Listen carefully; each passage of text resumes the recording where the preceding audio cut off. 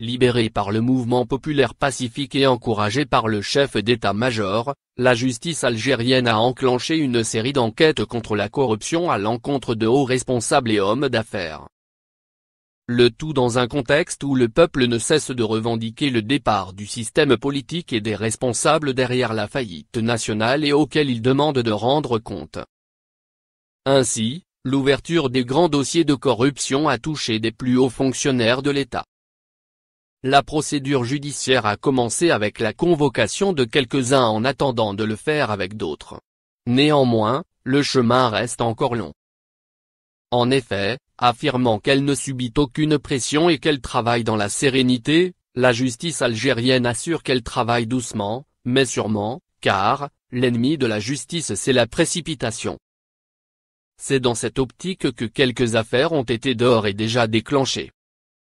C'est le cas, notamment de la comparution de l'ex-premier ministre Ahmadou Yahya, ainsi que l'actuel ministre des Finances, Mohamed Loukal devant le procureur de la République près le tribunal de Sidi Mamed.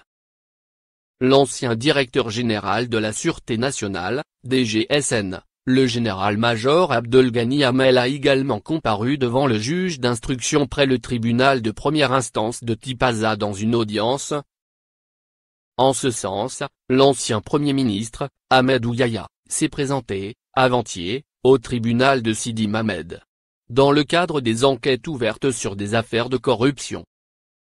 Il a été auditionné par le procureur de la République dans des affaires de dilapidation des deniers publics, abus de pouvoir ou encore favoritisme et octroi de privilèges. Après son audition, la Cour suprême a désigné un de ses magistrats pour entamer une enquête sur l'ex-premier ministre Amadou Yahya. Par cette procédure, le dossier devrait être immédiatement transféré à cette instance judiciaire. Il faut savoir que la Cour suprême a la mission de vérifier la régularité des décisions de justice par rapport à la loi. Elle peut, soit confirmer la décision, objet du pourvoi en cassation, soit l'infirmer et dans ce cas, renvoyer l'affaire devant la juridiction compétente. Elle a la compétence d'user également du système de privilèges de juridiction pour ouvrir une instruction et auditionner les hauts responsables de l'État. L'affaire Ouyaya sera-t-elle la première dans les annales de la justice algérienne? Seul le temps peut répondre à cette réponse. Mais celle-ci n'a jamais ouvert des enquêtes en ce sens. Pour sa part, le ministre des Finances, Mohamed Loukal, a eu à comparaître lundi devant le procureur de la République près le tribunal de Sidi Mamet pour être auditionné dans des affaires de dilapidation des deniers publics. La justice avait annoncé, le 20 avril, avoir convoqué Mohamed Loukal en compagnie de l'ex-premier ministre Ahmadou Yahya, sans préciser si elle souhaitait les entendre comme témoins ou suspects. Quant à lui, l'ancien directeur général de la Sûreté nationale, DGSN, le général-major Abdelghani Hamel a comparu, lundi, devant le juge d'instruction près le tribunal de première instance de Tipaza dans une audience, dans le cadre des enquêtes ouvertes sur des affaires de corruption.